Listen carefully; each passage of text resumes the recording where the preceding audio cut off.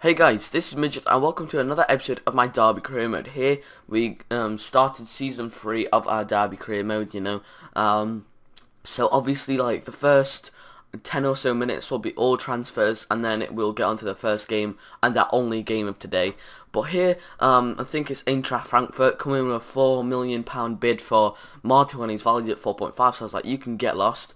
And we put Padermo out to Millwall, but um, we also inquired for Michael Jacobs, our former player that is, I think he's on loan at Derby, right? Not at Derby, he's on loan at Wolverhampton. He's going to come back to Derby, but somehow um, on the game he's actually a transfer player, so I decided to put him uh, for 500,000 because I, I, figured out, you know, the, uh, the League One players won't be worth too much, so that's obviously going to be a bit too much. And I also inquired for Nathan Aké and Jack Butland, you know, because I want to strengthen, I think it was my right back, centre back, goalkeeper, and um, left midfielder or so, or right midfielder, you know, one of them. So I decided to put up a, a, a you know, I put, uh, Bayern Munich decided to put up a 2.5 million counter offer, but I offered 1.5 million, and it did accept surprisingly for Nathan Aké, so it looks like uh, Nathan Aké could be on his way to Pride Park, but um, I decided to put another bid in for uh, Michael Jacobs, you know, was 750,000 because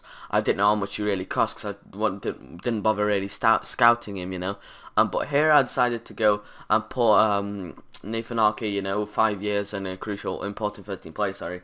Um, but then I thought, you know, he's not really going to be important first team play because I looked at his Futhead stats and it was 67 rated at the start of the season, um, at start of season 1, and it is my third season in career mode, so I, I doubt he's grown too much because, you know, Bayern wouldn't, really wouldn't play him, so I didn't want to, you know, put him as my important first team player because I've already got two 75 rated players, haven't I, being Carrico and Eric Dier, so he wouldn't really be an important first team player, it'd be more of a squad rotation, uh, so I decided to put him um, 25 grand is not change, clean sheet bonus of 5%, uh, length of contract 4 years, and squad rotational player, because again, you know, I just told you why. And then uh, Wolverhampton came back with a Nathan Aké inquiry saying it's not too, uh, it's not good enough, again, just now. And I was like, what the hell do they want? Do they want like 1 million? Um, so I decided to give them 1 million directly. Um, and you'll see what I do in a minute that might be quite controversial, but um, I'll tell you guys why when we get to them. And when we get to the bit, excuse me, so um, we go to our office or something, I don't know, my shortlist, sorry, and, because uh, I played this, like, a week ago, so I'm not, I'm, not fresh on it, but I decided to um, put a bid in for Southampton's Nathaniel Clyne, you know, I know he's quite a good player. So, by in that in mind, I put up a seven or eight million bid, uh, rather, for uh, Nathaniel Clyne, and I think I put in Keogh, um, because again, I don't really need um, Keogh as I've got, you know, my two amazing centre backs. At first, I put in Oviedo, but in the end, I do put up Keogh, um, because he's valued at 1.1 million, and you know, I've I've got my two centre backs, uh, so uh, you know. I guess that's a controversial move because I don't have any good centre backs after, but I can play. I can have people that play centre backs, so it's not that bad of a you know uh, transfer if this goes through. So it looks like Nathaniel Clyne could also be on his way through to the iPro Stadium. And uh, you know we fast forward the time now, uh, just a couple of days later until we get uh, you know our transfers. But uh, uh, Southampton said no, and so did I think Wolverhampton this time. They definitely did because I know I did. I can remember that bit. But Nathan Aké declined his thingy again, and I was like, okay, I don't really need him, no mind, you know. But I actually do, so I might go for him in the January transfer window. But I decided to go for 6.5 and Keogh. So um, I guess that's a very uh, good offer in my opinion, you know, uh, for from a club like Derby and Southampton eventually accept it, you know. And then we decided to put up a. Um, I looked at the remaining wage budget, like we had we only had 25, so Keogh must have like took uh, uh, pretty much half our wages. So you saw what I did there for uh, Nathaniel Clyne, and it's only a matter of time before he could accept, you know, so we could have already had Nathaniel Clyne, and he did accept eventually, but I decided not to accept him straight away. I decided just to get a couple of more players, just in case, um, you know, the wages goes, um, I need the wages for some players. And um, here I go into my shortlist to see who else I can get, um, or transfer negotiations, yeah, because I wanted uh, Michael Jacobs.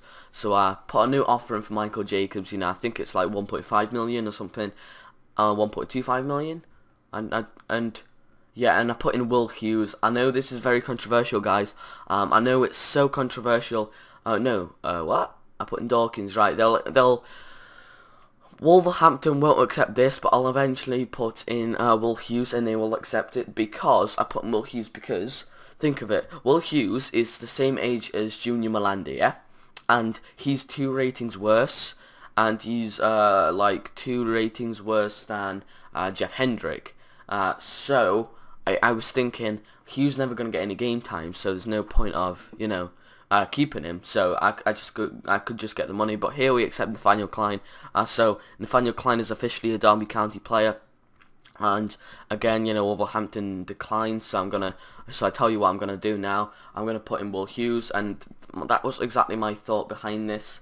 Um, I think uh, that you know that Will Hughes isn't never going to get played to be honest because he's the same age as Malanda and he's two ratings worse than Malanda and Hendrick and I only play with one centre defensive midfielder which is going to be Malanda and then Hendrick can be you know my uh, sub. Uh, so basically yeah I see that um, Nathaniel Clyne's 78 rated which is absolutely insane you know he's definitely he's my best player now ratings wise and uh, we go into the first preseason friendly game against Augsburg, the German side, and Chris Martin manages to score two goals that win us the game 2-1, and Kieron Freeman gets an injury, and here, I wasn't really thinking about it, you know, because um, I've only got one uh, right back now, so um, I'll sign another one by the end of, come the end of this episode, but um, for now, you know, I, I wasn't actually thinking about him getting injured.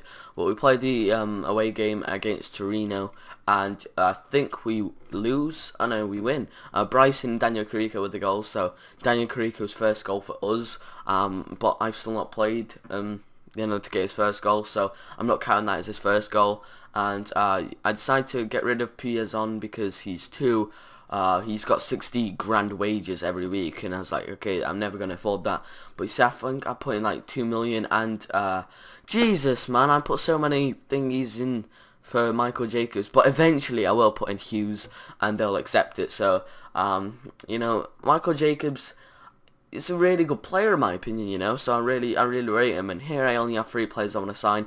Um, I signed Michael Jacobs. Spoiler alert. Sorry about this. I just need to turn the thingy. Um, I don't. I I don't sign Jack Butland or Nathan so I'm gonna wait for them in uh, the January transfer window. But we go into the last game of the preseason against uh, Villarreal, which we which we draw, which is a really good um, thing for Derby County, isn't it? You know, um, but uh, again, Wolverhampton declined because uh, Michael Jacobs was one of their best players, so they didn't really want to get rid of him. So I think I decided to put up 250,000 plus Will Hughes eventually. Um, yeah. No, I, I, looked at Jimmy Wood, but then I was like, no. I put in Will Hughes because he's worth so much, isn't he? Um, and yeah, so eventually, like, I'm looking for Hendrick, but then I go, nope, I'm not doing Hendrick. I'm I might as well do Hughes. Oh my god, this is so confusing. Yes, so I go up to Hen. Oh my days. And yeah, I do Hughes and 500 grand, right, so... Oh, thank goodness that finally, oh Jesus, that was such a long period of time. Um, but again, Wolverhampton do accept this time.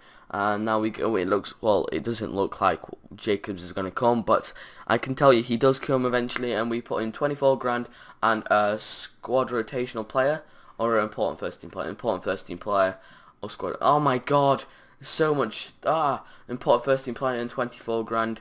I decided to up his wages a bit because he's not he's a crucial first team player at Wolverhampton so you know I thought he might not accept um that's my thinking about it. But then we get Michael Jacobs um and we still have 30 grand on our wages and 2.5 million so I was like yeah damn this is going smoothly I can sign one more player um but um uh, then I realised that I need to sign uh, a right back because I don't have a right back do I uh, so here I think I go to Wisdom and and just look. Uh, I just realise um, I I decided to get rid of uh, RK. No, not sorry, not RK.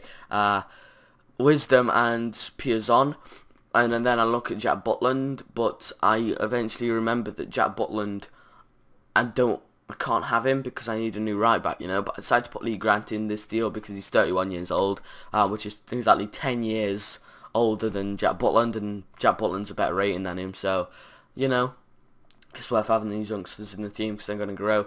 Um, and I decided to put the uh, captain as Daniel Carrico being one of the oldest players in the pitch. And this is all the thingies that you're going to see. All the transfers now we go into the game against Swansea, our first game of the season. Sorry. And I can assure, well, I can't assure, I, I need to tell you that this game is just goals only. It's nothing more than goals. I don't think, maybe, I can't remember when I edited this, but I put my strongest lineup apart from Michael Jacobs uh, for Bryson, you know, because Michael Jacobs is 73 rated. That's the exact same rating as uh, Will Hughes, which, you know, is kind of cool. Um, so, you know, I didn't really overpay for him, you know, 500 grand for Will Hughes. No, Will Hughes is one rating lower than him, so technically I only paid 500 grand for him, uh, which is quite cool.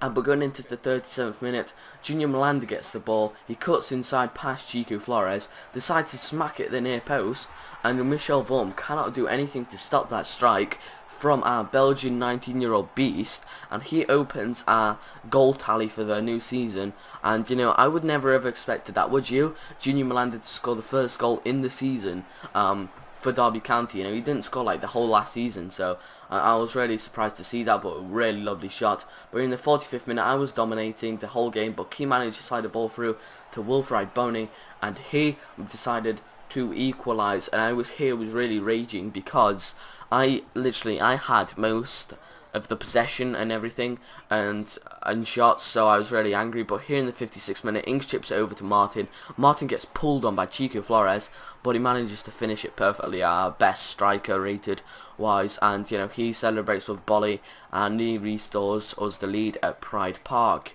Um, you can see how hard it was for him to get that shot off but he managed to do it in fine form and he did uh, just justice I guess for um, you know for us to get the lead and then um, Michu gets onto the ball from around, I don't know, 25 yards. And I was like, you're never going to score from there, Michu. But he proved me wrong, and he also proved my point of getting a better keeper than Legzdins, because that was just unacceptable for a Premier League keeper. 25 yards, and yet, and yet, he scored, you know. I'm not taking any anything away from Michu, but come on, Legzdins, you have to do something better than that. You know, that that's just, that's just crap. Um, but um, in the 87th minute, Martin Lovely held the ball off uh, Ward, and Ward's pace is not going to get caught up by Chico Flores or stuff like that. And he managed to score us the winning goal in the 3-2 win at Dar well against Swansea, sorry. And you can see Van der Werf at the bottom. He's just there like, yes, we're, we're going to win our first game. And you do win our first game, you know. You can totally see that we deserved that win, you know, rather than them. Um, because we had basically owned them in everything except possession. But I didn't, yeah, to, be honest, I was raging because I was I was winning most of the game. And also because of the goddamn uh, thingy. Uh, but here, um, we just look for Wisdom you're going to see why I need to sign him. But yeah guys, so hopefully you enjoyed this episode. If you do, make sure you're going to uh, give this episode a like. Another one's going to come tomorrow. And yeah, so this was it. And I'm going to see you guys next time.